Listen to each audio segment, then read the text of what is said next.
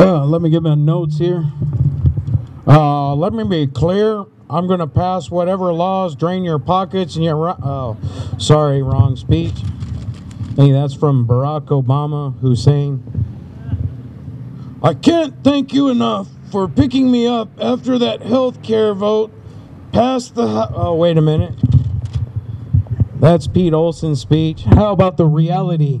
Are you tired of being ignored by your elected officials?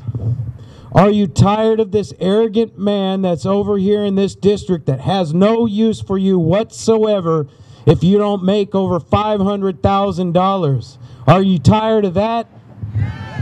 We are the ones paying his salary, yet he is the one sitting there doing nothing for $17,500 a month, doing nothing but taking away your rights, hiding under a veil of darkness, passing the Patriot Act, passing cybersecurity. Well, he hasn't passed it yet.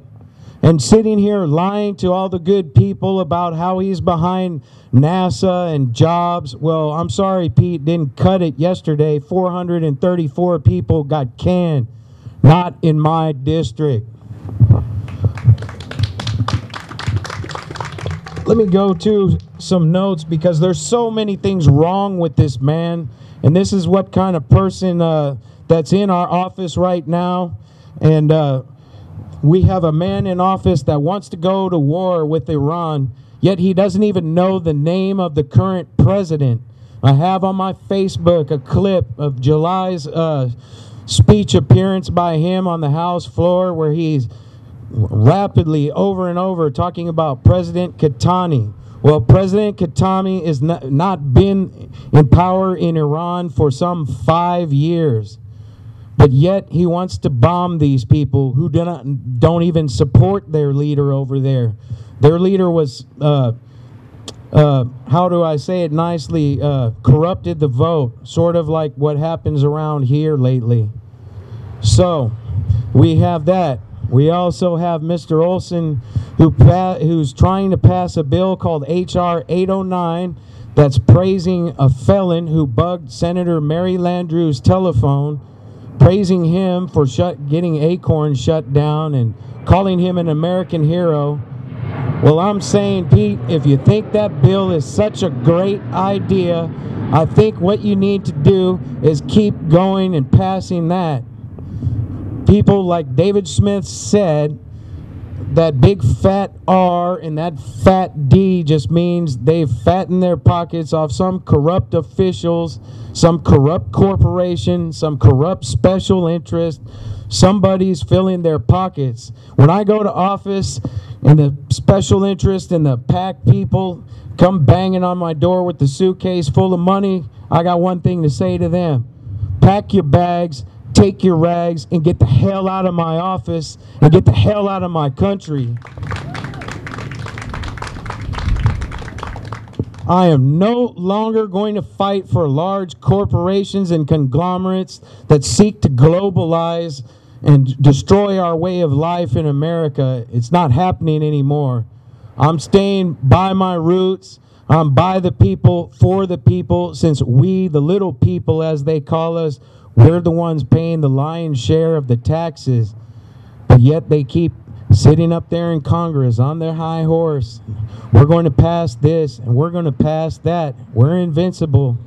How do you decide what you're going to pass when you don't even read the legislation that tells me you're not doing your job? You're not ever doing your job when you let 3,200 pages, oh, let's just pass it and we can read it later. Which now we're finding out stuff in the health care bill is not even related to health care. It's more freedom oppression. They're now they're going to try again. Trust me, they're going to try again as soon as the election's over to pass cap and trade, which will be the death knell for the American economy because that means every trash bag, every piece of paper, every pencil, every tire that goes on your car, every gallon of gasoline, every hamburger, every piece of fish you eat, going to be an added tax onto that. And at the same time, they have a parallel bill in the background going that the sheeple in America don't know about. It's called S510, which will prohibit you from growing your own food in your backyard. Uh, that's right. They're going to have a special police force to make sure you're not growing your tomatoes and carrots and squash and all that good stuff. And they're going to penalize you if you decide to share that with your neighbor.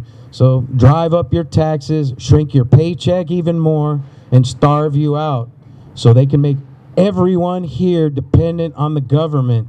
And what Pete Olson is going to do with that, he's going to agree with them. He's going to sign whatever they tell him to sign because he's not in charge. He has no idea what's going on. People like John Cornyn are pulling his puppet strings. People like Halliburton are pulling his puppet strings. And Halliburton, for those of you who don't know, they were also deeply involved in the Gulf oil spill.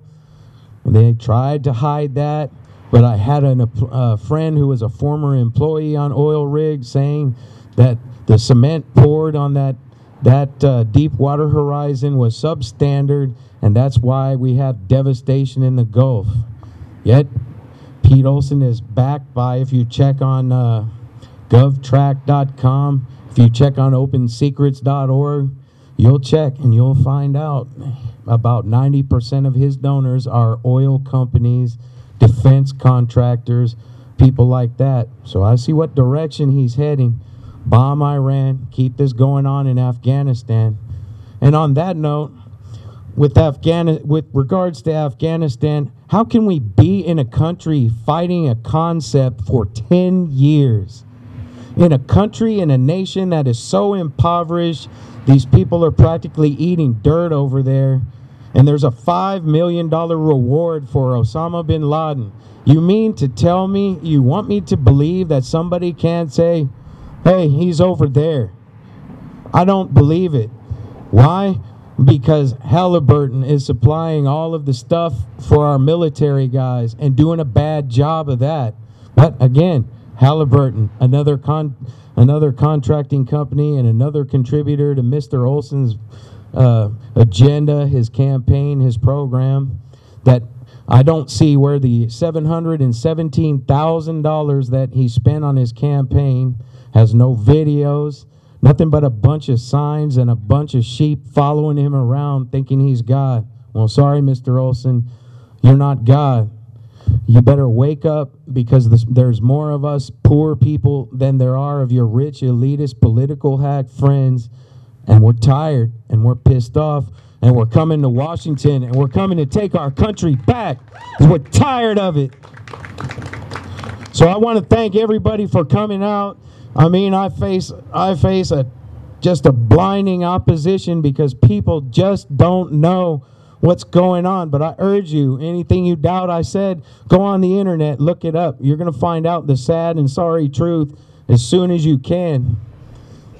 And then it's your duty to wake up your friend, your neighbor, your coworker, and everybody. Because if this man is in another two years, we will see all the small businesses in this district continue to be ignored. So we'll see more families on welfare rolls trying to get food stamps and stuff like that, which I just uh, don't want to see. I want what I'm about is people to have jobs, have pride, own their own homes, and stop these banksters from taking everything away from them because it's most disgusting to me. The banks and the corporations don't control our country. We do. Now let's get out there this season and let's take it back. Thank you very much.